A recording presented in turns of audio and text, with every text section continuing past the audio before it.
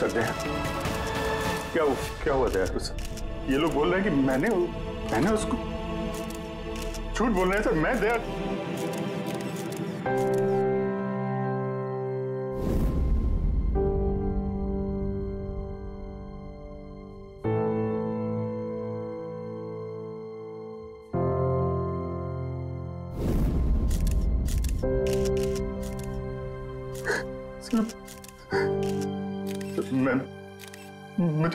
पता नहीं सर, मैंने कब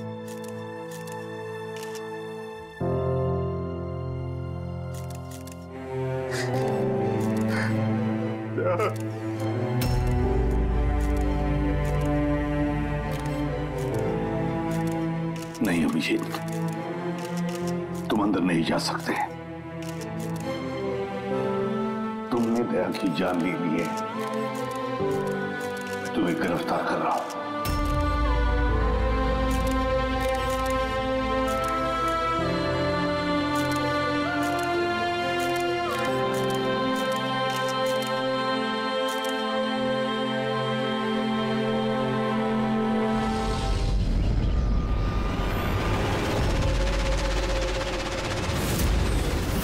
सर जिसका खून हुआ है, उसका नाम डीके है, एक प्राइवेट डिटेक्टिव उसके मेड ने लाश देखी सुबह।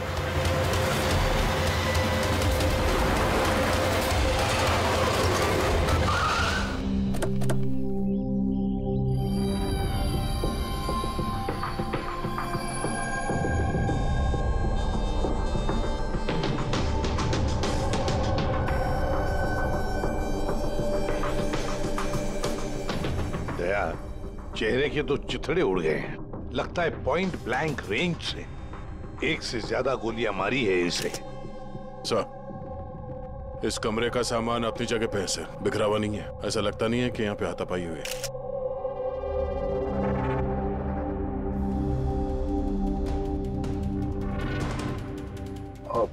सर सर ये कबर्ड और सेफ़ तो खुला हुआ है। और सब सामान अपने जगह पे भी है।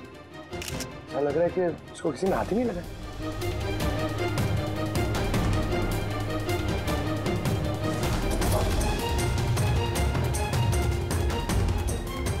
सर, पैसे और जेवर ऐसे के ऐसे ही।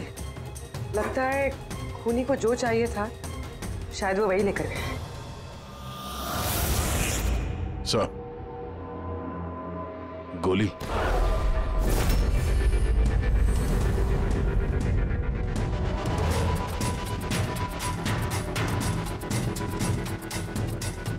तीन गोलियाँ चली है दया।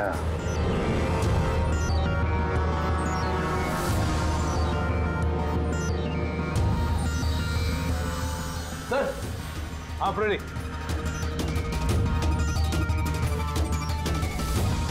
सर ये खिड़की के कांच निकाले हुए हैं। मतलब खुनी यहीं से अंदर घुसा है। हाँ। काम करो रेडी फिंगरप्रिंट्स उठा।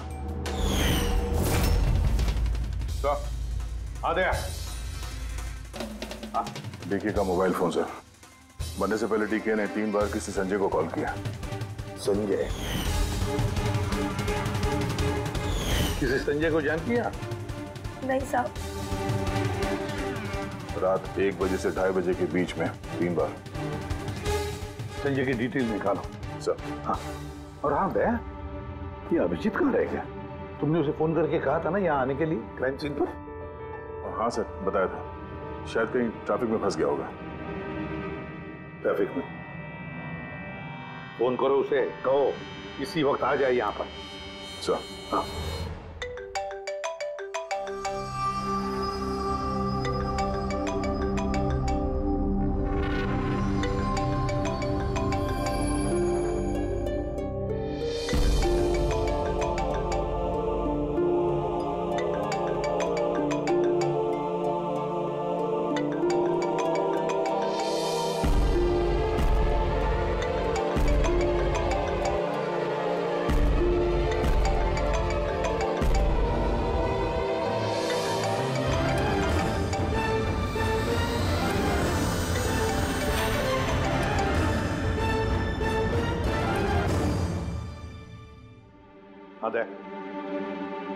बोल रहा है अभिजीत? कहाँ है वो? आ, सर वो तबीयत थोड़ी खराब है उसकी। वो डॉक्टर के पास जाएगा और शायद वहाँ से सीधे ब्यूरो पहुंचेगा।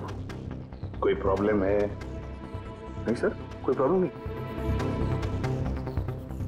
समझ में नहीं आता ये अभिजीत दिल्ली से आने के बाद कुछ अजीब सा बर्ताव कर रहा है।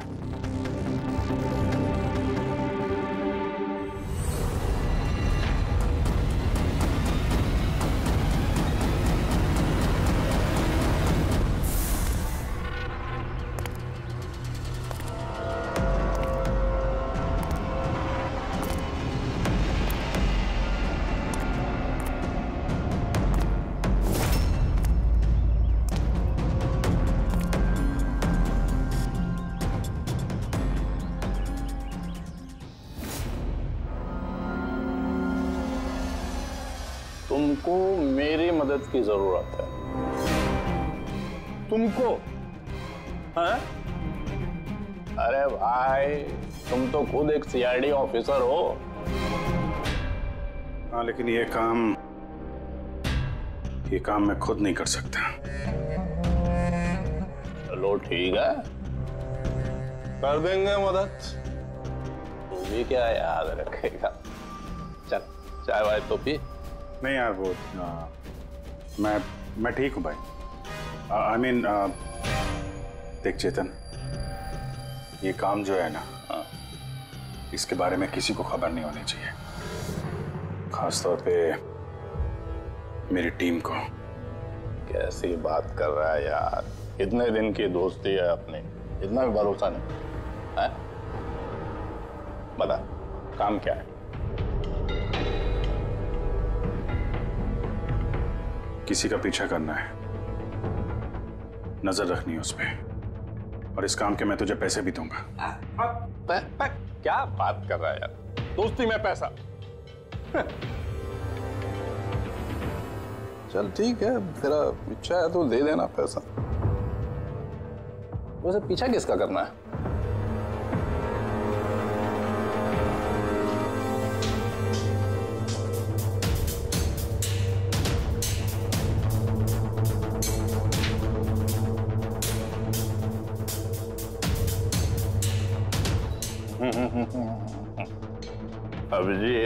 लगता है तूने गलती से गलत फ़ोटो दे दिया है। कोई गलत फ़ोटो नहीं है।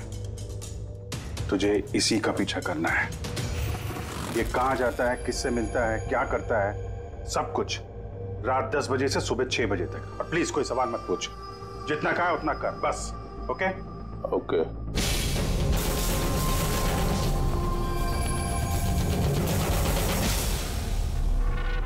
या तो अभिजीत पागल हो गया है। या बहुत बड़ा कोई गेम चल रहा है।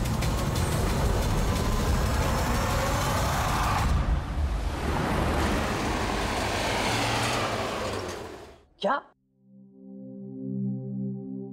डीके का खून हो गया? मरने से पहले डीके ने आखिरी बार फ़ोन पे आपसे बात की थी आधी रात को। क्या बात क्या हुई थी आपकी? वो मेरे कहने पर किसी पर जासूसी कर रहा था। कुछ सबूत मिला उसे इसलिए उसने फ़ोन किया था मुझे। जासूसी क्यों? मेरी बॉस मंदिरा जी के लिए। मंदिरा?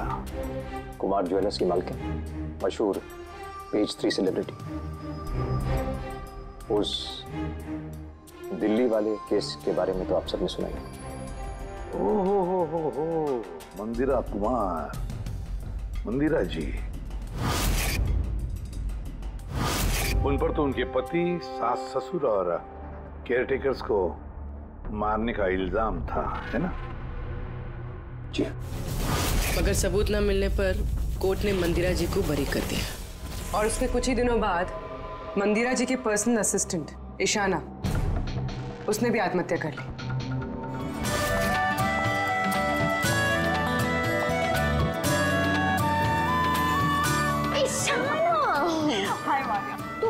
आज भी लेट हो गई ना। जल्दी जाओ संजय सर तुम्हारा वेट करे कब से? गॉड संजय सर इतनी जल्दी क्यों आ गए? आ भी गए और बहुत गुस्से में। ओह गॉड तू मेरा बैग संभाल। मैं आती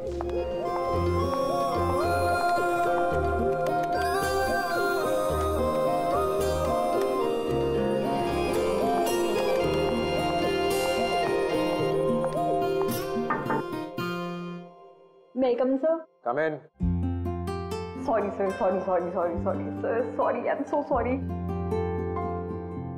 What is this Ishana ये कोई टाइम है ऑफ़िस आने का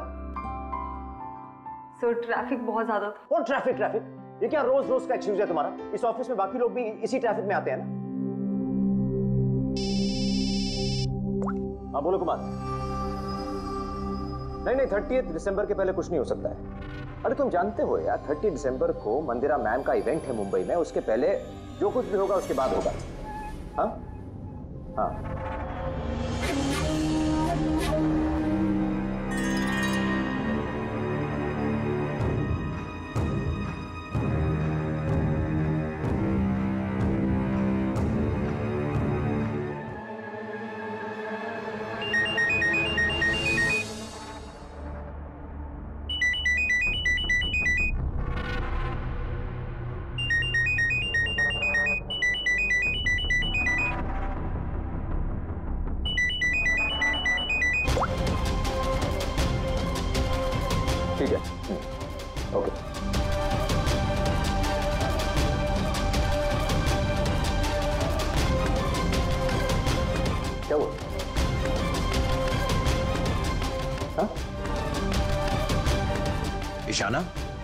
क्या देख रही हो?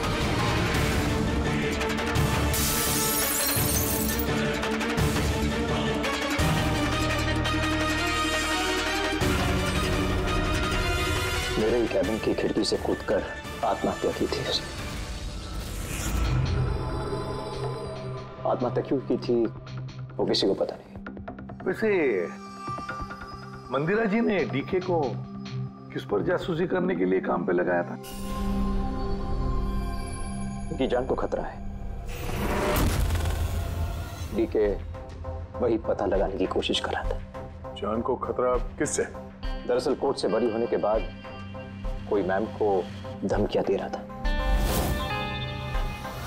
ये धमकियाँ फ़ोन पर ही? जी हाँ फ़ोन पे भी अनजान नंबरों से और टाइप किए गए चिट्ठियों से भी। मैम दोबारा पुलिस के चक्करों में पड़ना नहीं चाहती थी इसलिए डीके को हायर किया था उन्होंने। तो कुछ पता चला डीके को? उसके हाथ कुछ सबूत तो लगा था कि उसने एक पेन ड्राइव में सेव करके रखा था। वो पेन ड्राइव वो मुझे देना चाहता था। इसलिए दिल्ली से मुंबई आया था मैं। तो डीके के घर में उसका लॉकर खुला हुआ था। तो कहीं उस लॉकर से ये पेन ड्राइव चोरी तो नहीं हुआ था? हो सकता है दया। उसके घर में हमें एक लैपटॉप भी मिला सर शायद उसे कुछ पता चल जाए। मंदिरा ऐसे कैसे कर सकती है? उसने अकाउंट फ्रीज कर दिया। प्रॉब्लम को समझते क्या है? अब सब कुछ उनकी मर्ज़ी से होगा। ये लोग कौन है? सीआईडी वैसे हम डी हम संजय से मिलने आए थे। आप दोनों कौन हैं? सर ये कायरा है। मिस्टर कुमार मेरा मतलब मंदिरा मैम की बेटी। और ये मैम के बहनोई हैं मिस्टर सबीर हम मंदिरा जी और उनके पूरे परिवार से कब मिल सकते हैं? क्योंकि उनकी जान की हिफाजत अब हमारी ज़िम्मेदारी है। इनफैक्ट मंदिरा मैम कायरा के चचेरे भाई शिखर और उनकी पत्नी अमारा सब आज रात को ही आ रहे। हैं तीस दिसंबर को कुमार ज्वेलर्स का एनुअल चैरिटी इवेंट है। उसमें शामिल होने के लिए। तो ठीक है कल सुबह सुबह ही मिलते हैं हुँ?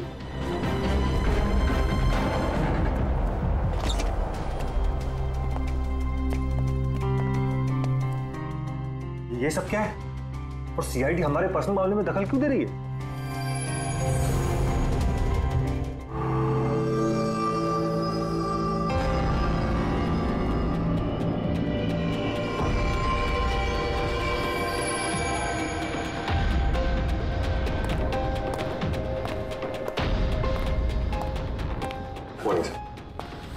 हेलो सर अब तबीयत कैसी है आपकी? मर्डर इन्वेस्टिगेशन है सर प्राइवेट इन्वेस्टिगेटर डीके की. घर ही में मौत हुई है सर ये ये पूरी केस फ़ाइल है.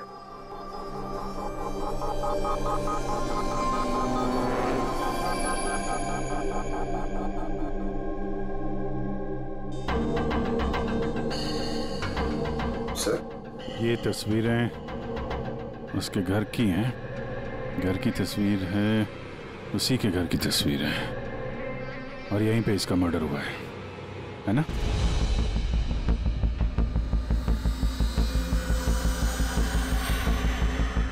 बराबर यहीं पे मर्डर हुआ है इसका। पंकज ये क्या पूछ रहे हमसे?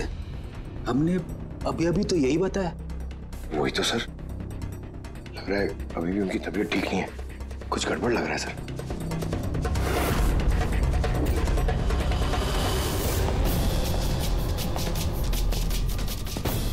Abhijeet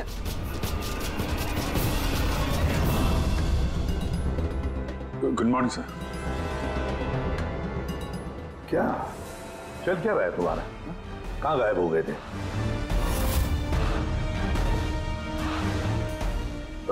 अरे अभिजीत तुम्हारी तबीयत खराब थी ना तो डॉक्टर के पास जाना था। यहाँ क्यों? हाँ वो हाँ सर वो कुछ दिनों से थोड़ी थोड़ी गड़बड़ चल रही है सर। पर अब ठीक है आई एम बेटर नाउ या गड़बड़ चल रही थी। सर डीके संजय को जो पेन ड्राइव देने वाला था तो उसका जो डेटा है वो हम हासिल करने का एक तरीका है सर। पेन ड्राइव तो मिला नहीं ना दे तो फिर डेटा कहाँ से लाओगे? सर है ना एक तरीका है वो हम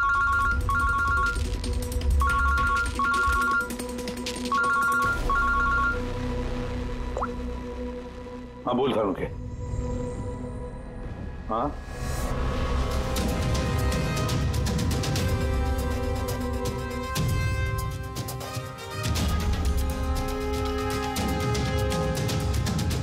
है सर।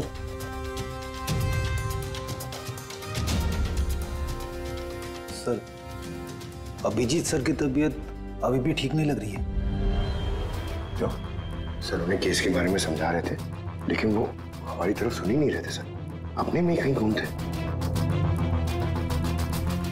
सर मंदिरा केस के बारे में सारी डिटेल्स निकाल ली न्यूज़पेपर्स पे टीवी पे जो भी आया है सब।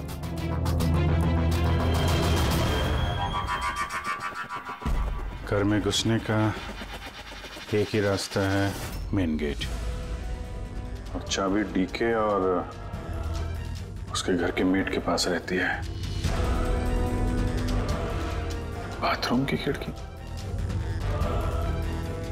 मतलब कातिल कातिल ने बाथरूम की खिड़की का कांच निकाला और अंदर घुसा और उसके बाद अभिजीत क्राइम सीन पर था भी नहीं और यहाँ पे तो बाथरूम का कोई फ़ोटो भी नहीं है। तो फिर इससे ये सब कैसे पता? अभिजीत मुझसे कुछ छुपा रहा है, मगर क्या?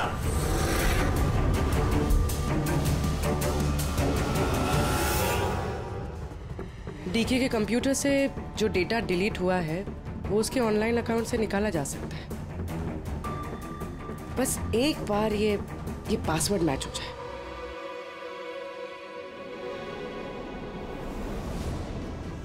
कुछ दिनों से थोड़ी थोड़ी गड़बड़ चल रही है सर। पर अब ठीक है I am better now sir उन्हें केस के बारे में समझा रहे थे लेकिन वो हमारी तरफ़ सुन ही नहीं रहे थे सर। अपने में ही कहीं गुम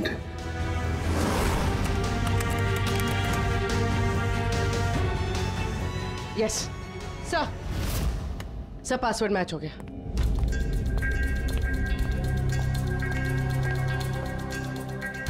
सर इसमें तो वीडियोस हैं. चेक करते हैं.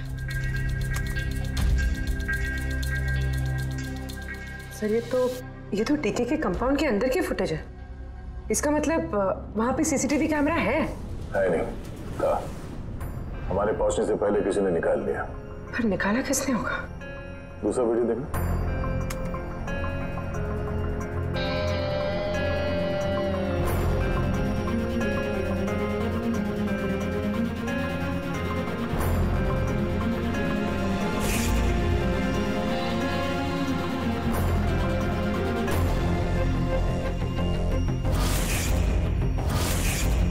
कैसे हो सकता है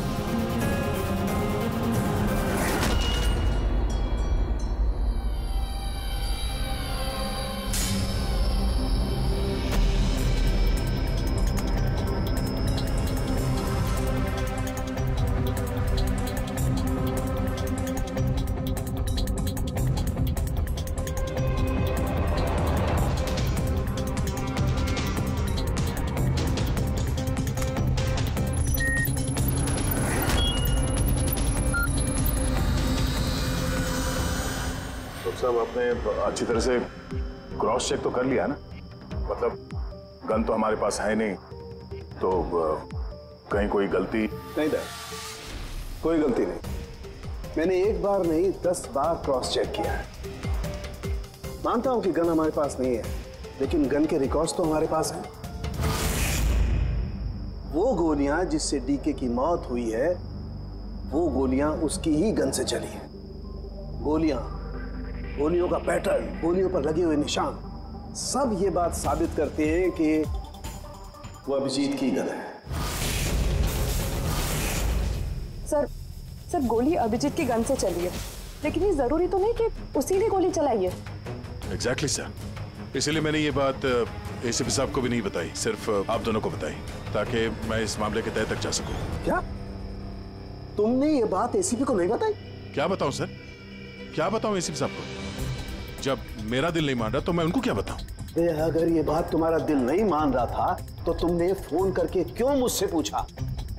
कि जिस गन की गोलियों से डीके की मौत हुई है वो गन अभिजीत की है या नहीं? वो क्या था जिसकी वजह से तुम्हें अभिजीत पर शक हुआ? क्या था? वो इसलिए सर क्योंकि जब हमने जरा पीछे ले जाना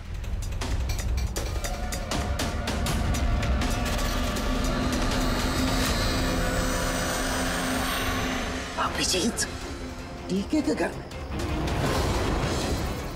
में दया फिर भी तुम अभिजीत को बचाने की कोशिश कर रहे देखो दया अभिजीत और तुम्हारी दोस्ती को मैं बहुत अच्छी तरह से मानता हूँ उसका आदर भी करता हूँ लेकिन लेकिन ड्यूटी अपना फ़र्ज़ किसी भी रिश्ते किसी भी दोस्ती से ज़्यादा बड़ा होता है और ये बात मुझे तुम्हें बताने की ज़रूरत नहीं सर बिना ठोस सबूत के अभिजीत सर पे शक करना। ये सबूत नहीं था तो क्या था पूरी? अभिजीत डीके के घर में घुसा। ये सबूत नहीं तो क्या है पूर्वी? अभिजीत सर डीके के घर में घुसा ये हमने देखा। लेकिन उन्होंने डीके का खून किया ये तो नहीं देखा ना? सर ये भी तो हो सकता है कि उनकी गन से डीके को किसी और ने मारा हो। हो सकता है। ये हो सकता है कि अभिजीत की गन से डीके को किसी और ने मारा हो। लेकिन ऐसी हालत में अभिजीत की गन अभिजीत के पास नहीं होनी चाहिए। क्या तुम लोगों को अभिजीत ने बताया? उसने बताया कि उसकी गन गुम हो चुकी है कोई गुम गुमशुदगी की रिपोर्ट लिखाई उसने। वो सवेरे से तुम लोगों के साथ है क्या उसने बताया कि वो ऐसे अजीब से कपड़े पहन करके डीके के घर में क्यों घुसा? और वो भी बाथरूम का शीशा तोड़। बताया उसने? बताया? सर आपके सारे सवालों का जवाब मैं मैं अभिजीत से पूछ लूँगा। पर सर तब तक के लिए प्लीज़ सर तब तक के लिए एसीपी साहब को कुछ मत बताना।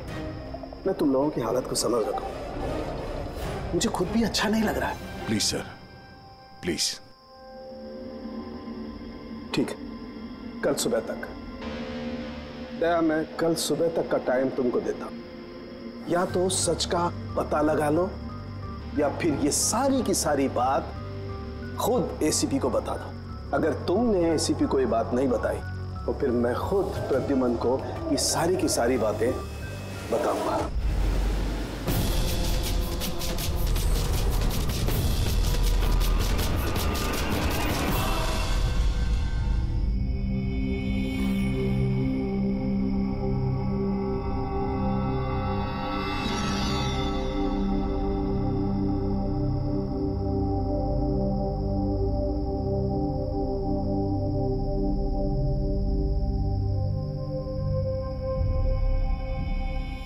आधा घंटे से ऊपर हो गया, दस का, साढ़े दस बज गया।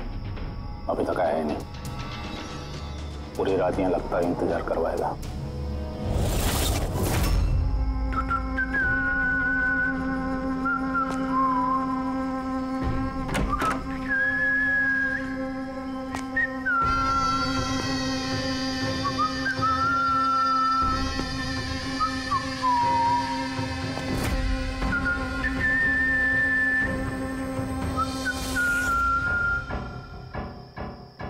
तुझे इसी का पीछा करना है। ये कहाँ जाता है, किससे मिलता है, क्या करता है, सब कुछ। रात दस बजे से सुबह छह बजे तक। ये अभिजीत है इसको क्या हुआ? ये होलिया क्या बना रखा है इसने?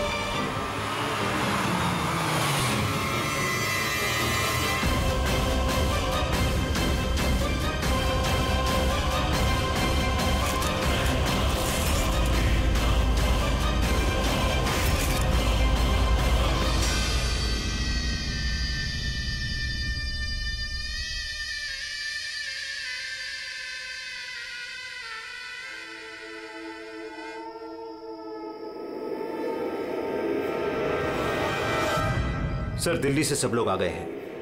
मंदिरा मैम। अमारा मंदिरा के देवर की बहू। कायरा मंदिरा की सौतेली बेटी। सबीर मंदिरा का बहनोई। शिखर मंदिरा के देवर का बेटा। आइए मैम ये है सीआईडी की टीम एसीपी साहब। अच्छा हुआ आप लोग आ गए। डीके के कातिल का पता चला? अरे आपको तो मालूम होगा कि हमारा मशहूर एनुअल इवेंट 30 दिसंबर को होने वाला है। आई होप कि आपने मेरी सिक्योरिटी के सारे बंदोबस्त करा दिए हैं। देखिए मुझे गलत मत समझिएगा लेकिन अ, मैं कोई चांस नहीं लेना चाहती एक्चुअली ये इवेंट मेरे लिए बहुत ज़्यादा इम्पोर्टेंट है लेकिन अपनी जान से ज़्यादा नहीं क्या आपको पूरा यकीन है कि आप मेरी हिफाजत कर पाएँगे? और डीके के केस में क्या प्रोग्रेस हुई?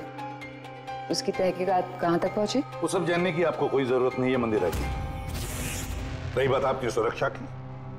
वो हमारी ज़िम्मेदारी है। हाउ इंटरेस्टिंग भाभी जी आपको डर लग रहा है? मंदिरा जी को? भाई जिसका कानून भी आज तक कुछ नहीं बिगाड़ पाया हुँ? तो मानना पड़ेगा उस इंसान को जिसने आपको डरा दिया। शायद इसे पता नहीं होगा ना इनके बारे में कि ये क्या क्या कर सकती है। क्या आपको भी लगता है कि मैंने अपने पति और बाकी लोगों को मारा है? देखिए मंदिरा जी आप पर जो भी आरोप है उससे हमें कुछ लेना देना नहीं है। कोर्ट ने आपको बरी कर दिया है और हम कोर्ट के फैसले का सम्मान करते हैं। आप सिर्फ़ इतना बताइए आपको किस पे शक है? कौन है वो जो आपको मारना चाहता है? शक। जी हाँ शक। नहीं नहीं नहीं मुझे शक किसी पर भी नहीं है। बल्कि मुझे पूरा यकीन है कि मेरे मरने के बाद ये सब बहुत खुश होंगे। और मुझे मारने की साजिश में भी इनमें से किसी एक का हाथ है। And I am very sure कि ईशाना की आत्महत्या में इनमें से किसी एक का हाथ है। अब आप ही बताइए इतने प्यारे अच्छे रिश्तेदारों के होते हुए मुझे दुश्मन की क्या ज़रूरत है? मॉम प्लीज़ आप फिर से अपना ये इमोशनल ड्रामा शुरू मत कीजिए। यहाँ ऐसा कोई क्रिमिनल नहीं है जो आपको मारना चाहेगा। राइट खुद को बेगुनाह और बाकी सबको विलन समझना ये तो भाभी की पुरानी आदत है। आई स्वेयर मैंडी मुझे तो इस कहानी पे यकीन ही नहीं है। कौन मारना चाहता है तुमको? और किसने धमकियाँ दी हैं? कहाँ है वो धमकी भरे घर? हाँ मंदिरा जी। कहाँ है वो खत वो अ, मुझे याद नहीं। मैंने फेंक दिया। सी आई न्यू कि आप यही बोलोगे। सो so कन्वीनियंट बस हो गया। आप लोग एक दूसरे पर कीचड़ उछलना बंद कर दीजिए। और एक बात अच्छी तरह से याद रखिए। हमें सब पर शक है। और जब मैं सब पर कहता हूँ, उसका मतलब है, आप सब पर शक है। आप सब पर। और एक बात, हमारी परमिशन के बगैर आप ये शहर छोड़ नहीं सकते। कोई भी शहर छोड़कर नहीं जाएगा। अगर ज़रूरत पड़े तो हम आपको दोबारा बुला लेंगे। Thank you very much thank you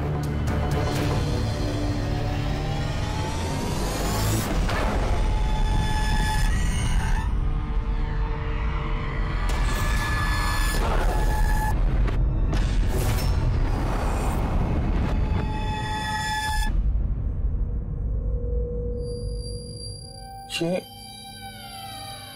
ये मैं हूँ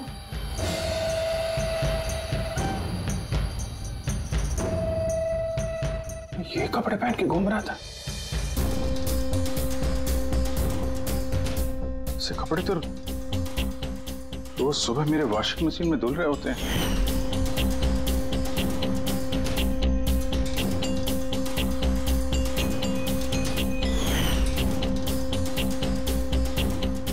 जूते? यार ये जूते गंदे रहते जैसे मैंने इन्हें पहना हो। लेकिन मुझे याद नहीं मैं ये मैं ये कपड़े कब पहनता सच में मुझे क्या हो रहा है मेरे साथ? कार में कौन है, हैं? ये किससे बात कर रहा हूँ मैं? कौन है कार में? नहीं मैंने नहीं देखा। तुम बात कर रहे थे तुम्हें पता होगा। और तुम कल तो मुझे पहचाने ही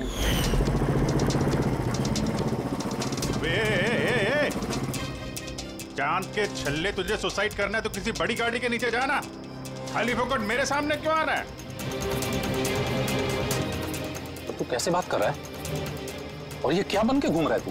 ए, ये अपुन का स्टाइल है। टोनी का स्टाइल। तू कौन? मैं कौन? मुझे नहीं पहचानता। है? और ये टोनी कौन है? अरे टोनी अपुन है और कौन? यार विजित देख यार किसी केस के सिलसिले में तू ऐसा कर रहा होगा तो मुझे बता दे यार। डरा मत भाई। अदड़ा अदड़ा कौन अभिजीत कौन सा केस? ये तू क्या बोल रहा है ना? मेरे भेजे में कुछ घुस नहीं रहा समझा? टोनी नाम है मेरा टोनी। टोनी से पंगा नहीं लेने का समझा? चल हवा आने दे और टोनी को जाने दे।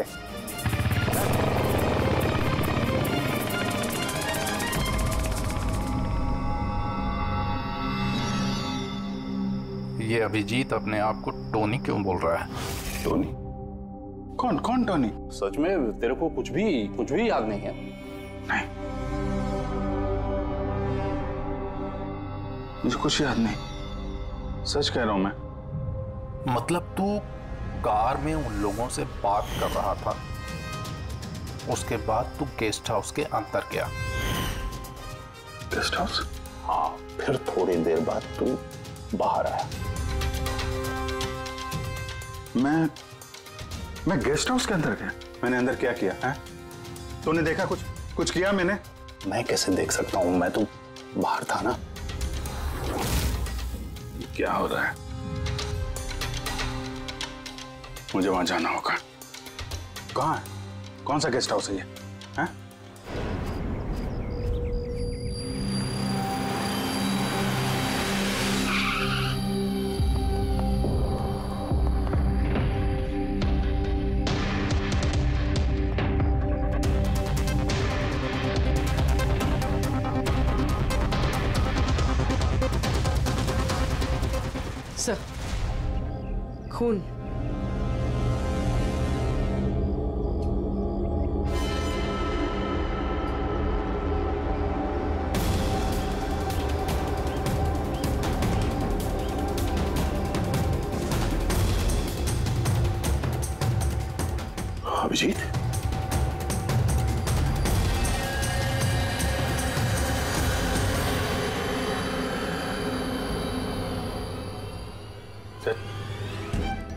तुम यहाँ पे?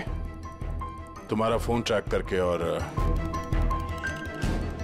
यही सवाल मैं तुमसे पूछ रहा हूँ, अभिजीत। तुम यहाँ कैसे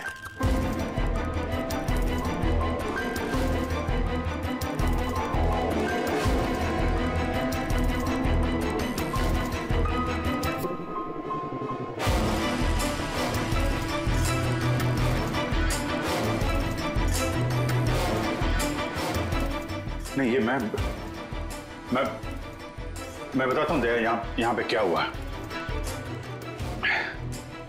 अभिजीत यहाँ पे क्या हुआ वो तो हमें दिख रहा है। तुम बताओ। किसने किया ये? हाँ? तु, तुमने इन दोनों को मारा? मैं मैंने अभिजीत मैं तुमसे कुछ पूछ रहा हूँ। तुमने मारा इनको? सर सर आप आप अभिजीत सर पे इल्ज़ाम लगाए हैं सर। मुझे इल्ज़ाम लगाने की ज़रूरत नहीं है पूर्वी। तुम देखने रही हो? यहाँ दो दो लाशें पड़ी हैं खून से लथपथ और सीआईडी ऑफिसर अभिजीत लाशों के बीच से ये बैज बैज उठा रहा है। या यूँ कह लो कि सुराग चुरा रहा है। अभिजीत, मैं फिर पूछ रहा हूँ तुमसे। मुझे तुम्हारे साथ अपराधियों जैसे बर्ताव करने पे मजबूर मत करो। तो क्या करूँ मैं क्या बोलूँ मैं? अगर मैं बोलूँ कि मैंने ये नहीं किया तो मानोगे? अगर मैं कहूँ कि मुझे पता नहीं कि मैंने किया है या नहीं। आई नो मैं मैं अनर्गल बोल रहा हूँ, लेकिन लेकिन तुम लोग तो तुम लोग तो मुझे जानते हो ना। अभिजीत यहाँ मेरे सामने जो सबूत पड़े हैं, उनको देखकर हम कुछ कुछ कह नहीं सकते। मुझे अपना फ़र्ज़ निभाना होगा।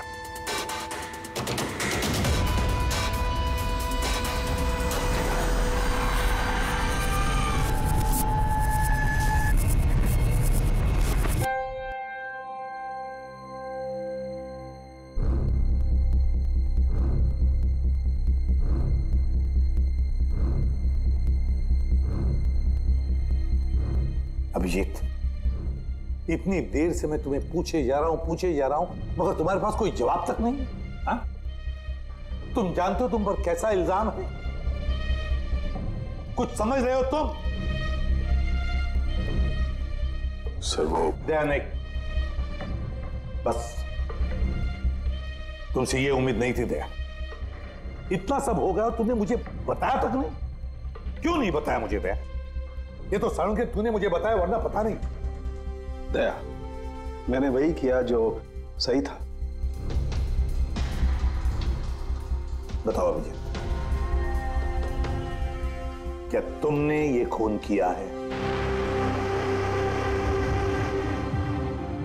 अभिजीत क्या ये खून तुमने किया है? मुझे नहीं पता सर। पता नहीं कैसे? डैमेज पता नहीं कैसे। हाँ? दिखे के घर में चोरी छुपे तुम घुस रहे थे, उसका सीसीटीवी फुटेज मैंने देखा। उन लाशों के बीचों बीच खड़े थे तो दैन तुम्हें खुद या पकड़ के लाया। डीके और उन बॉडीगार्ड पे जो गोलियाँ चली, वो तुम्हारी इस गन से चली है, इसी गन से चली है। और तुम कह रहे हो कि तुम्हें कुछ पता नहीं? मेरी आँखों में आँखें डालकर बताओ मुझे। कहो कि तुमने ये खून नहीं किया। कहो कि तुमने कुछ पता नहीं है तुम्हें। नहीं पता है सर। मुझे कुछ नहीं पता सर। सॉरी क्या बताऊँ मैं आपको? क्या बोलूँ सर? जब मैं खुद नहीं जानता सर कि मैं डीके के घर में क्यों पहुँचा। कैसे ये सारे खून मेरे इस गन से हो रहे हैं मुझे नहीं पता सर। सर मैं तो डीके को जानता भी नहीं। मैं उन बॉडीगार्ड्स को नहीं जानता मैं मैं मंदिरा को नहीं जानता मैं मैं तो अपने आप को भी नहीं जानता सर। मैं क्या करता हूँ, कहाँ जाता हूँ, किससे मिलता हूँ, मुझे नहीं पता। पिछले पिछले कुछ दिनों से मेरे साथ कुछ तो हो रहा है, लेकिन मुझे ठीक से पता नहीं चल रहा है। दिन भर सब कुछ सब कुछ ठीक रहता है। रात को घर जाता हूँ, खाना खा के सो जाता हूँ। और जैसे ही सुबह उठता हूँ तो अजीब से कपड़े, अजीब से जूते जो मेरे नहीं हैं पता नहीं कहाँ से मेरे घर में आ जाते हैं। कपड़े वॉशिंग मशीन में धुल रहे होते हैं। जूतों पे मिट्टी लगी रहती है, ऐसा लगता है कि जैसे जैसे मैंने उनका इस्तेमाल किया है। लेकिन मुझे पता नहीं चलता। थकान सी रहती है। ऐसा लगता है कि जैसे मैं रात भर जगा हूँ। लेकिन जग के मैंने क्या किया, मुझे नहीं पता। लगता है हर रोज मेरी ज़िंदगी के छह आठ घंटे गायब हो जाते हैं, जिनके बारे में मुझे कुछ पता नहीं। आप कहते हैं कि मैं मैं डीके के घर गया। हो सकता है, लेकिन मुझे नहीं पता। मैंने डीके और उन बॉडीगार्ड्स को मारा, लेकिन मुझे नहीं पता। मैं मंदिरा को मारने की कोशिश कर रहा हूँ, लेकिन मुझे नहीं पता। मैं क्या करता हूँ, मैंने क्या किया है, मैं क्या करने वाला हूँ, मुझे नहीं पता, सर। मुझे नहीं पता।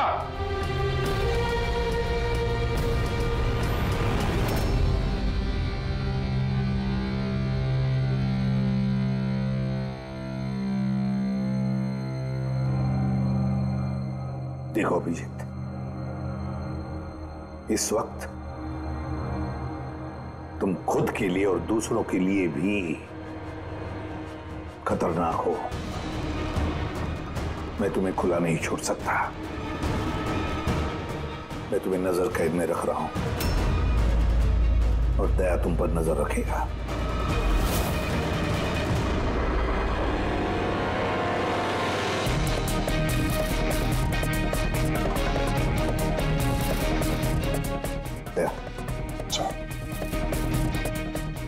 बात अच्छी तरह से याद रखना।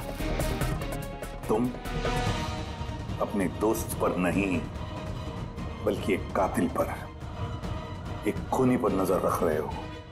एक ऐसा आदमी जिसका मानसिक संतुलन बिगड़ चुका है। अब से इस केस की तहकीकात मैं खुद करूँगा। और तुम अभिजीत को रोकोगे कोई भी जुर्म करने से। अगर उसके लिए तुम्हें अभिजीत पर गोली भी चलानी पड़े। तो वो तुम चलाओगे। Is that clear yes sir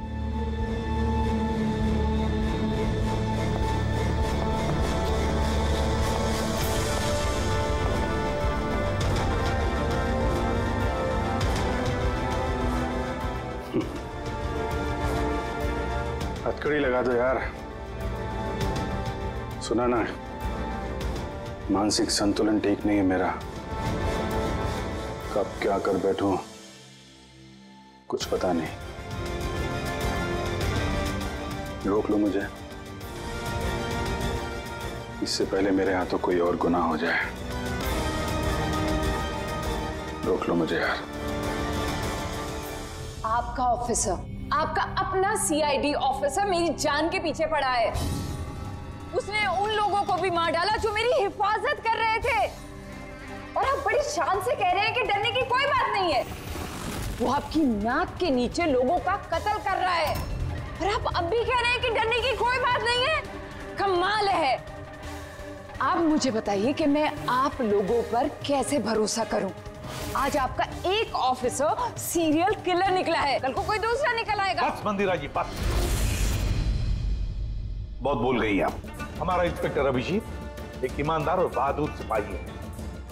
अपने देश की रक्षा के लिए और आम आदमी की सुरक्षा के लिए अपनी जान तक कुर्बान कर सकता है। लेकिन एक किलर कभी नहीं बन सकता। हाँ उस पर इल्ज़ाम ज़रूर है। तीन तीन खून का इल्ज़ाम है। साबित सिर्फ़ इतना हुआ है कि अभिजीत का मानसिक संतुलन बिगड़ चुका है। उसे कुछ याद नहीं रहता वो क्या करता है, किससे मिलता है, क्या बोलता है, और उसके बाद में जब नॉर्मल होता है सब कुछ भूल जाता है। इसका मतलब ये नहीं कि वो कोई सीरियल किलर है। मैं पूरी यकीन के साथ कहता हूँ, खतरा है आपकी जान को। तो वो आपके इन रिश्तेदारों से। एक्सक्यूज मी सबूत सारे आपके ऑफिसर के खिलाफ मिले हैं। और शक आप हम सब पे कर रहे हैं? जी हाँ मैं आप सब पर शक कर रहा हूँ। ऑफ़िस तो आप ही का है वो आप तो उसे ही बचाएँगे। वो तीनों खून इंस्पेक्टर अभिजीत की गन से चली हुई गोलियों से हुए। और आपको लगता है कि ये काम हम में से कोई कर सकता है? अरे हमारे पास आपके ऑफिसर की गन कहाँ से आएगी? शिखर जी जल्द से जल्द हम पता लगा लेंगे कि इंस्पेक्टर अभिजीत की गन आपके पास कैसे आई लेकिन मंदिरा जी, एक रिक्वेस्ट है। आपका जो 30 दिसंबर का इवेंट है, वो आप कैंसिल मत कीजिए। बहुत अच्छा मौका है खूनी को पकड़ने का। क्योंकि खूनी उस इवेंट में ज़रूर आएगा।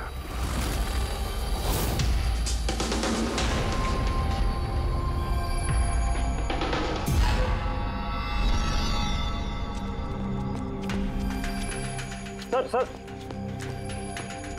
हाँ संजय क्या बात? है आप अभिजीत सर के बारे में कुछ कह रहे थे कि उनके जहन में कोई और शख्सियत घुस जाती है। याददाश्त उनकी मतलब? उन्हें रात के कुछ घंटे याद नहीं रहते। हाँ वो बिल्कुल ऐसा ही एग्जैक्टली ऐसा ही किसी और के साथ भी हुआ था। किसके साथ? हाँ? सर ईशाना ईशाना जिस दिन उसने आत्महत्या की उसके कुछ दिन पहले से बिल्कुल ऐसा बर्ताव करने लगी थी वो। क्या? बस अजीब सी हो गई थी वो खोई खोई रहती थी। जिस दिन आत्महत्या की उसने उसके कुछ दिन पहले से एक अजीब सा रिंगटोन लगा रखा था उसने अपने फ़ोन पर। और फिर उस दिन अचानक से वो रिंगटोन बजने लगा और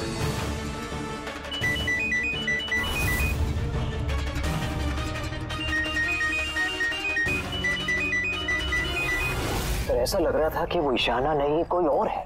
सर अभिजीत सर भी तो दिल्ली से आने के बाद इस तरह से बिहेव कर रहे हाँ ईशाना अभिजीत दिल्ली ये तीनों का कोई ना कोई कनेक्शन ज़रूर है। कुछ ना कुछ तो गड़बड़ ज़रूर है। कुछ ना कुछ तो है।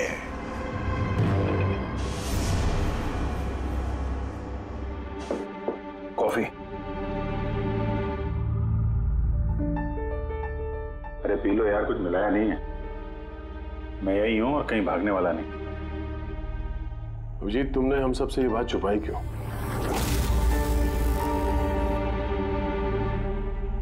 छुपानी पड़ी यार क्या करता? मुझे मुझे कुछ समझ में नहीं आ रहा था कि मैं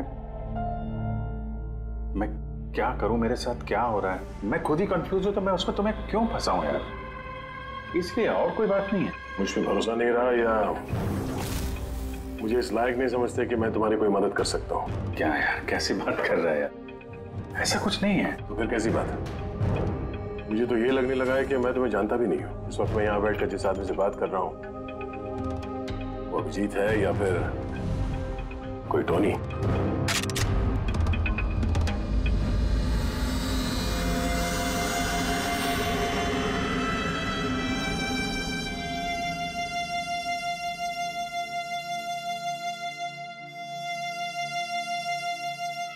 मैं तुम्हें कोई नुकसान नहीं पहुँचाने वाला। अभिजीत हूँ या टोनी, सपने में भी नुकसान नहीं पहुंचाऊँगा। गन दिखाने की ज़रूरत नहीं है। बात यह है ही नहीं कि तुम मुझे कोई नुकसान पहुँचा सकते हो या नहीं। बात यह है कि मैं यहाँ सिर्फ़ अपनी ड्यूटी कर रहा हूँ और मैं कोई चांस नहीं ले सकता। मैं तो तुम्हें शायद जानता भी नहीं हूँ।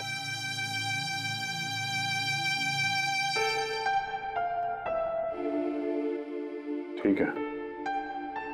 जब तुम समझने को तैयार ही नहीं है तो क्या?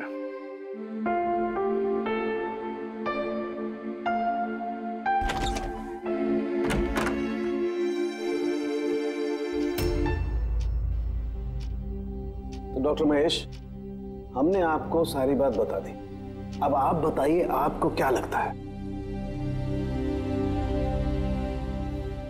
देखिए अभी अभी आपने जो कुछ भी मुझे कहा, ये अभिजीत और ईशाना के बारे में। उससे एक बात तो बिल्कुल साफ़ है कि दोनों की कंडीशन एक जैसी है। आर्टिफिशियली इंड्यूस प्लीट पर्सनैलिटी इसे सरल शब्द में मैं आपको समझाऊं तो इसमें पेशेंट के दिमाग में उसके अपने व्यक्तित्व के अलावा एक और व्यक्तित्व को प्लांट किया जाता है, जो किसी खास दशा निर्देश आदेश के मुताबिक चलता है और उसे इस तरह सेट किया जाता है कि वो व्यक्तित्व खास निर्धारित समय पर निर्धारित ट्रिगर मिलने पे उस व्यक्तित्व पे हावी हो जाता है। और जितनी देर ये हावी रहता है, वो पुराने व्यक्तित्व के बारे में ना तो कुछ जानता है और ना ही उसे पुराने व्यक्तित्व के बारे में कोई भी चीज़ें याद रहती हैं। ये इंसान का दिमाग है। इस दिमाग के दो मुख्य हिस्से हैं। सचेत मस्तिष्क। यानी कि कॉन्शियस स्टेट ऑफ़ माइंड जिसमें हम अभी हैं। और अचेत मस्तिष्क। यानी कि semi conscious state of mind जो हम सब सो रहे होते हैं उस वक्त होता है। और कभी कभी जागते हुए भी किसी नशे या किसी दवाई के असर में हमारा अचेत मस्तिष्क। एक्टिव होता है। सचेत और अचेत। दोनों ही अवस्था में ही दिमाग अलग अलग होते हैं। इस अवस्था में दोनों ही दिमाग जो सोचते हैं, जो बातें जो यादें उसे सेव कर लेते हैं। सचेत मस्तिष्क में सेव बातें तो हमें बरसों तक याद रहती हैं। लेकिन चेत मस्तिष्क में सेव की हुई बातें हमें याद नहीं रहती। डॉक्टर महेश, ये कुछ हिप्नोसिस जैसा? सम्मोहन जैसा? जिसमें इंसान के दिमाग को कंट्रोल करके उससे कुछ भी करवाया जा सकता है, एक रोबोट की तरह से। और बाद में किसी खास आवाज़ से उस सम्मोहन को तोड़ दिया जाता है और इंसान को कुछ भी याद नहीं रहता। नहीं नहीं नहीं, डॉक्टर सोलंके सम्मोहन अलग प्रक्रिया है। सम्मोहन में आप आदमी को तभी तक कंट्रोल में रख सकते हैं जब तक वो सम्मोहित अवस्था में है। सम्मोहित अवस्था से एक बार बाहर निकलने के बाद उसे वापस सम्मोहित करना पड़ता है।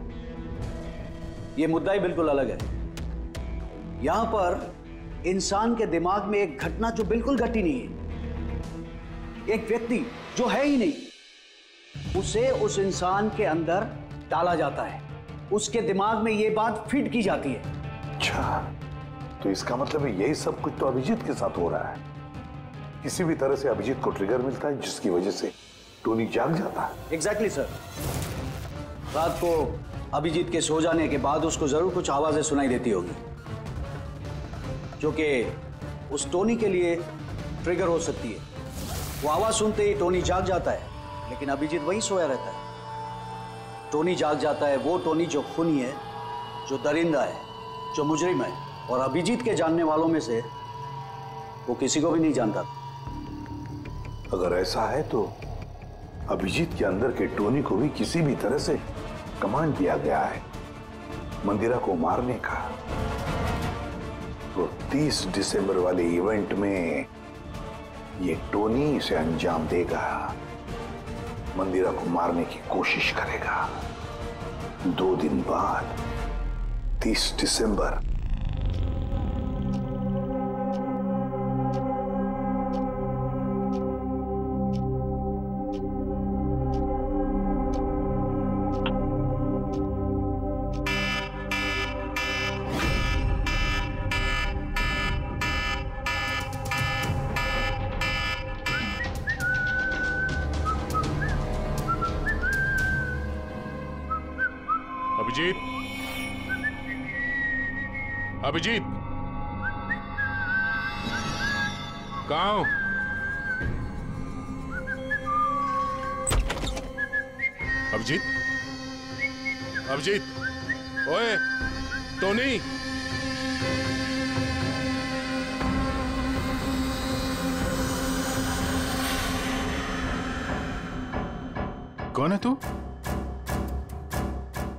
घर में क्या कर रहे है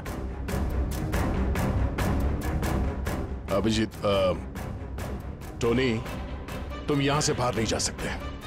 तुम यहाँ नज़र बंद हो। इस घर के अंदर रहना होगा। समझे? टोनी को अपना काम करने का है।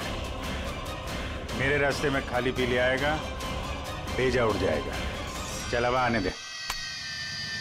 घर से बाहर नहीं घर में। हाथ हटा हाथ हटा बोलो ना टोनी को अपना काम करने का है। मेरा भेजा मत हिला। मेरे और काम के रास्ते के बीच में कोई नहीं आ सकता। चल। टोनी तुम कहीं नहीं जाओगे। यही। घर पे रहोगे तुम समझा? क्या बोला? टोनी पे हाथ उठाया तूने? टोनी पे हाथ उठाया! अभिजीत! अभिजीत! अभिजीत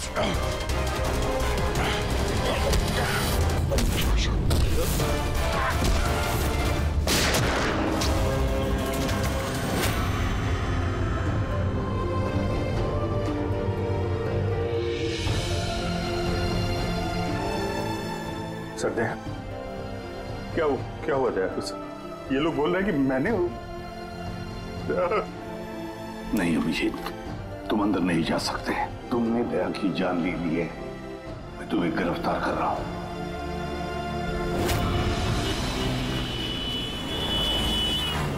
ईशाना के फ़ोन रिकॉर्ड्स में डॉक्टर तानिया का नाम कई बार है। आप में से कोई जानता है डॉक्टर तानिया को? आत्महत्या करने से पहले वो डॉक्टर तानिया से मिली थी क्या? ये डॉक्टर तानिया कहीं डेंटिस्ट तो नहीं ईशाना मरने से पहले कई बार एक डेंटिस्ट से मिली थी। मुझे नाम तो नहीं मालूम पर हो सकता है ये वही हो। जितना मुझे लगता है ये कोई डेंटिस्ट तो नहीं है। कुछ दिनों पहले सीआईडी ऑफिसर अभिजीत यहाँ रुके थे। यस मैम उस पूरे हफ़्ते में यहाँ जो कोई भी रुका था उन सब की लिस्ट चाहिए। और उनके स्टे के दौरान इस लॉबी की सीसीटीवी फुटेज भी देखनी है।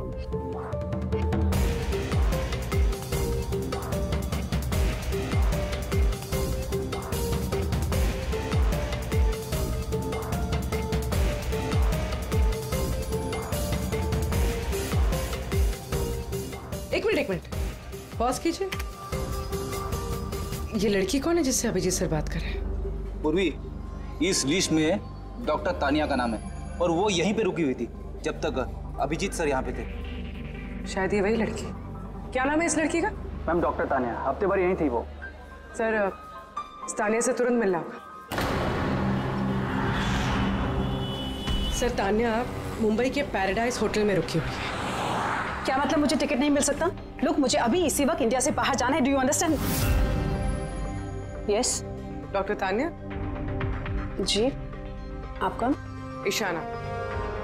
ईशाना की दोस्त सीआईडी ऑफिसर पूर्वी.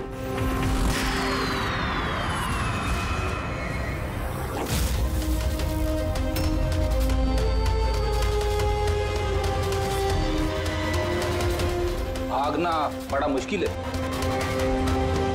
कहाँ भाग रही है तानिया जी? क्या? क्या चाहते क्या है आप लोग? अभिजीत के साथ क्या किया तुमने?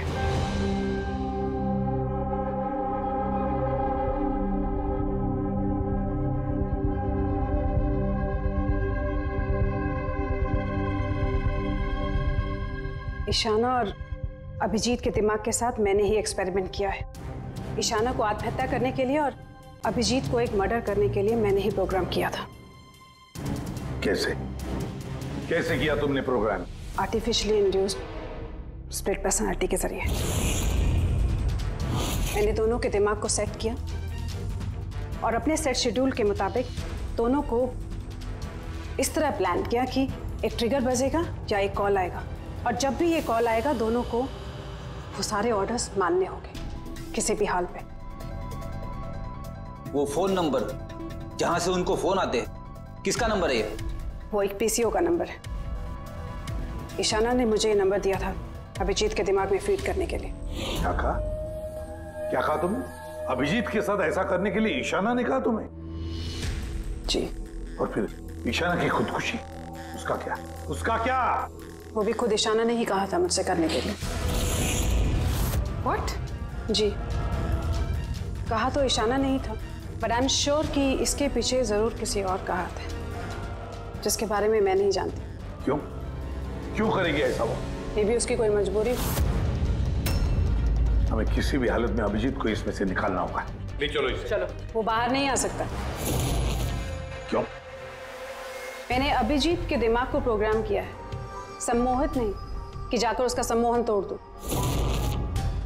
मैंने अभिजीत के दिमाग में खूनी को प्लांट किया है। टोनी को। यही है वो आर्टिफिशियली इंड्यूस्ड पर्सनालिटी जो अब कभी बाहर नहीं निकलेगा। और मैं चाहूँ भी तो भी मैं अभिजीत को इससे बाहर नहीं निकाल सकती क्योंकि अगर मैंने ऐसा किया तो या तो अभिजीत पागल हो जाएगा या उसकी जान भी जा सकती है। मतलब? मतलब ये कि जब भी ट्रिगर होगा टोनी मंदिरा को मार के रहेगा। और वो तब तक नहीं रुकेगा जब तक वो वाकई मंदिरा को मार नहीं देता और इसके बीच में जो भी आएगा वो भी मरेगा। मंदिरा को मारने का ट्रिगर क्या है? क्या ट्रिगर है अभिजीत के लिए? ईशाना के केस में ट्रिगर था एक रिंगटोन और अभिजीत के केस में ट्रिगर है रिमाइंडर टोन एक एक खास तरह का बीप जो मैंने अभिजीत के मोबाइल पे सेट कर दिया था। हम अगर अभिजीत मंदिरा को कैसे मारेगा? क्या प्रोग्राम किया है तुमने बताओ। वो तब तक मंदिरा को चाकू से मारता रहेगा जब तक कि बहुत सारा खून नहीं बह जाता। और कितने बजे के लिए प्रोग्राम किया ये? दस बजे। माय गॉड सिर्फ़ दो मिनट बाकी है। गिरफ़्तार कर लो इसे।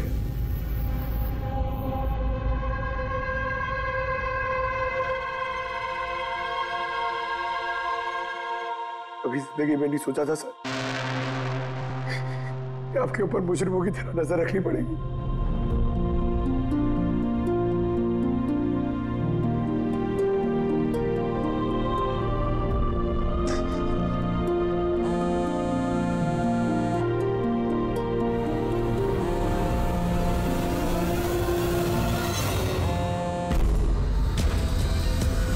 उनका डैमिट फ़ोन उठाओ।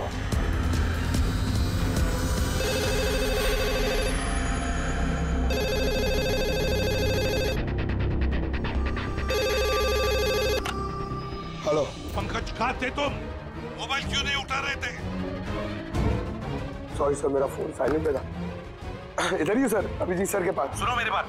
अभी के अभी जाके अभिजीत का फ़ोन स्विच ऑफ़ करो। क्या सर फ़ोन स्विच ऑफ़ करो? फ़ोन स्विच ऑफ़ करो जैसे मैंने कहा वैसे करो। अभी इसी वक्त। अभिजीत सर का फ़ोन पंकज तुम सवाल क्यों कर रहे हो? अभी के अभी जाके फ़ोन बंद करो। देखो बिल्कुल वक्त नहीं है हमारे पास। नहीं तो अभिजीत का टोनी बन सकता है। अभी जाओ जल्दी।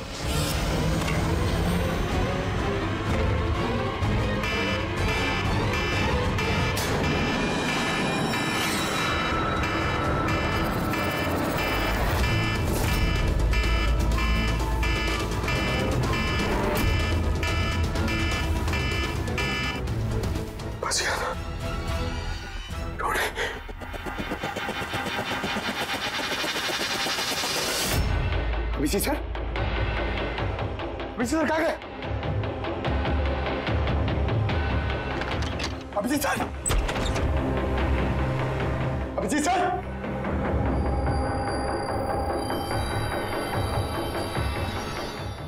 को बंद करके रखे हाँ? टोनी को पकड़ेगा तू, टोनी को।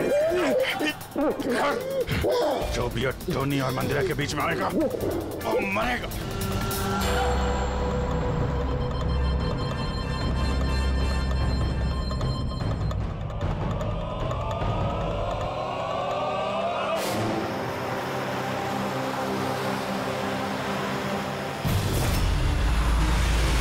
यही चैरिटी इवेंट का वेन्यू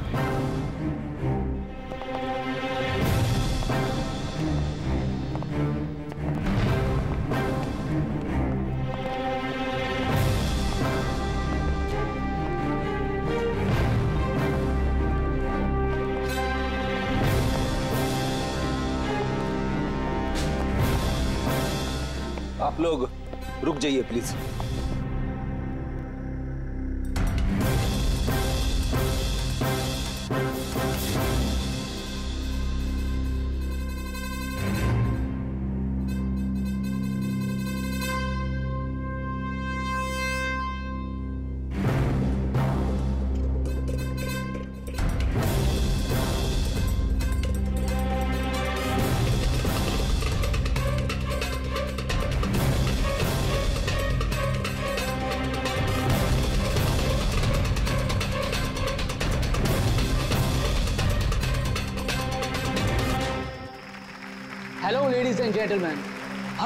तरह इस साल की जो ये शाम है, वो बहुत खास है, क्योंकि ये शाम है मंदिरा ज्वेलर्स के एनुअल चैरिटी इवेंट की, जिसमें जमा की गई सारी राशि दिल्ली और मुंबई के अनाथ आश्रमों और वृद्ध आश्रमों को जाती है। क्या बात है? तालियाँ बनती है इस बात पे डीकेसी चैरिटी के लिए। हर साल की तरह इस साल भी जो हमारी मुख्य अतिथि है, वो और कोई नहीं है, बल्कि मिसिस मंदिरा खन्ना है। तो आइए दोस्तों, आप सभी की जोरदार तालियों के बीच हम स्वागत करते हैं मिसिज मंदिरा खन्ना का। मिसिज मंदिरा खन्ना।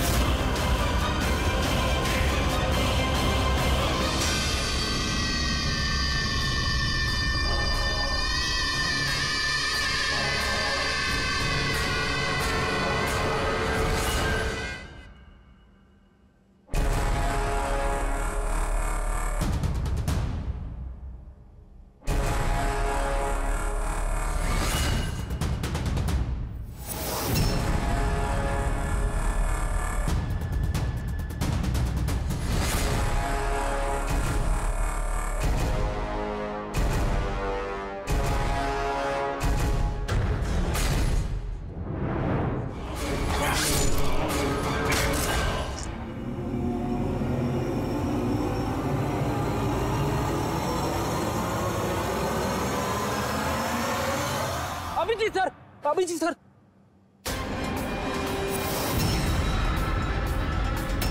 सर। सर लाइट सर सर। अब जी ठीक है? सर जल्दी हॉस्पिटल ले चलो। जल्दी आओ।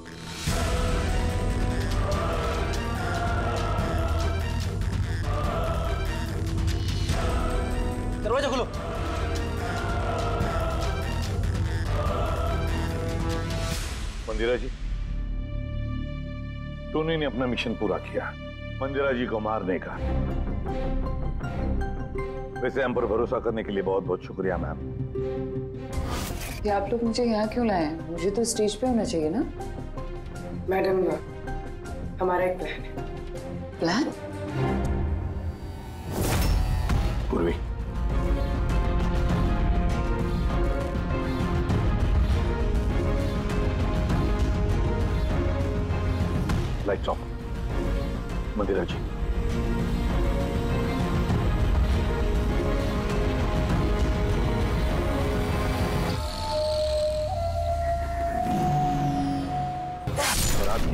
दाद देनी पड़ेगी थैंक यू मॉम?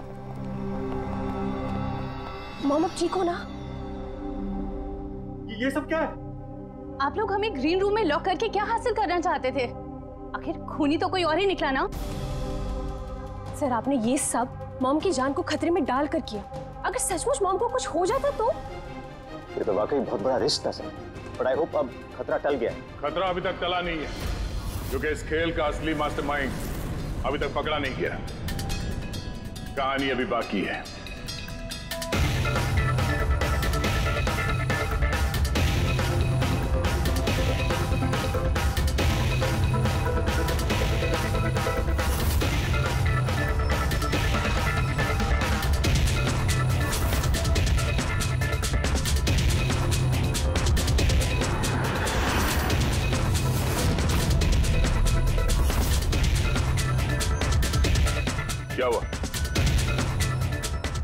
अच्छा नहीं लगा। कभी कभी कातिल तक पहुँचने के लिए हमें मरना भी पड़ता है। इसका मतलब इनके खून की खबर नाटक थी? मेरी मौत से कातिल बड़ा खुश था कि वो कामयाब हो गया और उसी समय का हमने फ़ायदा उठाया। हम मंदिरा जी को बचाने में लगे हुए थे और दया मास्टरमाइंड के पीछे लगा था। लेकिन असली मास्टरमाइंड है कौन?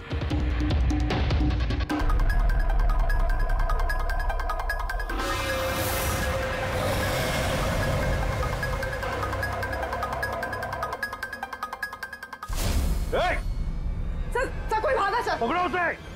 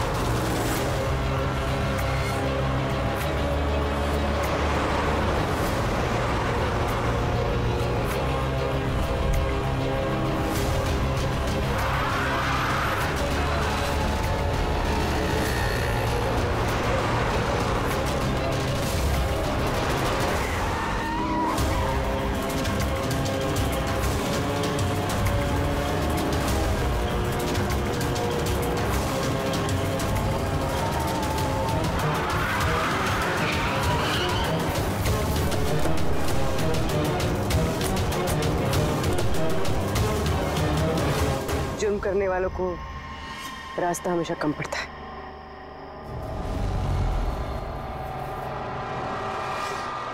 तुम ये सोच रही हो कि हमें कैसे पता चला कि खून तुमने किया?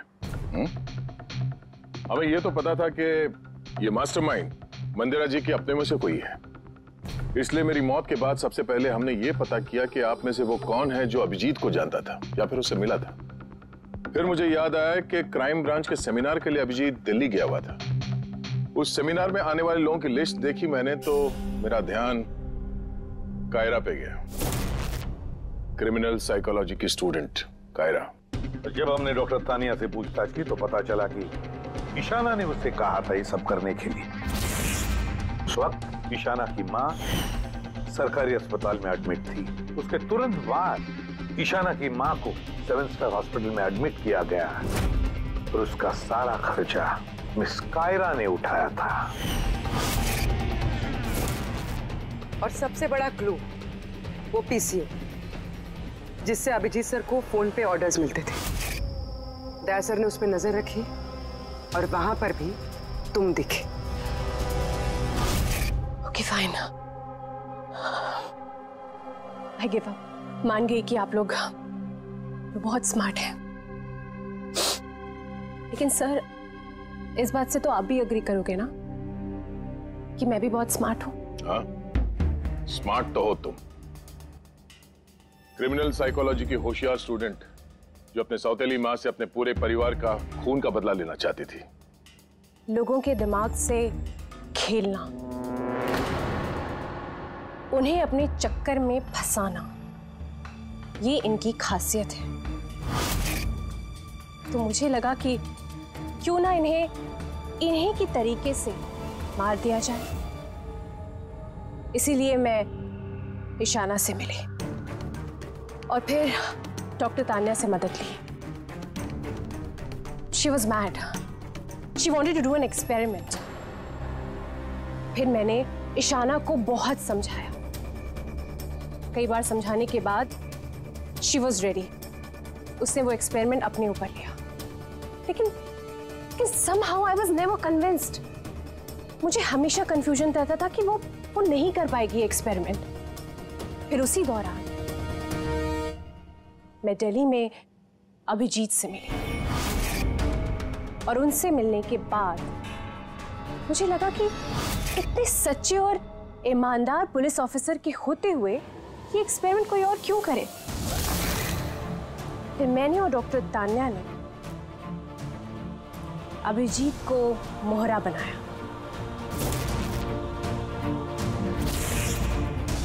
और अपना एक्सपेरिमेंट उन पर किया। और ईशाना हमारे किसी काम की नहीं थी इसलिए हमने उसे अपने रास्ते से हटा दिया। और वो जो दो बॉडीगार्ड उन्होंने क्या बिगाड़ा था तुम्हारा? उन्हें क्यों मरवाया? ऐसा इसलिए किया क्योंकि सारा इल्ज़ाम अभिजीत पर आ जाए और अभिजीत की बुलेट्स और गन्स हासिल करने के लिए टोनी था ना उसके दिमाग में। तुम इतनी खतरनाक हो सकती हो कायरा। मैं कभी सोच भी नहीं सकती थी। अब पता चल गया ना। तुमने मेरे माँ बाप के साथ मेरी फैमिली के साथ जो भी किया है तुम्हें जीने का कोई हक नहीं है। मैंने ये सब इसलिए किया क्योंकि मैं ये प्रूव करना चाहती थी। कि दुनिया में किसी के भी दिमाग के साथ खेला जा सकता है, चाहे वो सीआईडी ऑफिसर ही क्यों ना हो। बदले की आग में तुमने एक बहादुर सीआईडी ऑफिसर की जान के साथ खेला है। और तो और, चार माह तुम लोगों की जाने भी ली। के निशाना और मंदिरा जी के दो बॉडीगार्ड बहुत गलत किया तुमने। कानून तुम्हें कभी माफ़ नहीं करेगा। तुम्हें तो फांसी होगी। फांसी। जरा प्लीज़ ये सब याद मत करिए। एक बुरा सपना समझकर भूल जाइए। बुरा? डरावना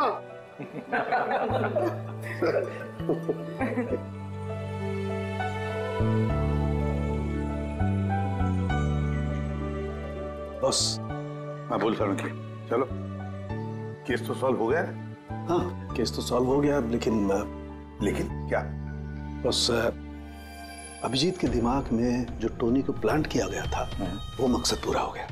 फिर? अब उसे कोई ट्रिगर्स नहीं आएँगे कोई कारा की आवाज़ सुनाई नहीं देगी जिसकी वजह से अभिजीत टोनी बन जाता था। हाँ। लेकिन बॉस लेकिन क्या? बॉस बात यह है कि टोनी अभिजीत के दिमाग में से कभी नहीं जाएगा। क्या? टोनी अभिजीत की पर्सनैलिटी का हिस्सा बन गया है बॉस। कोई नहीं जानता वो कब कैसे कहाँ सामने आ जाएगा।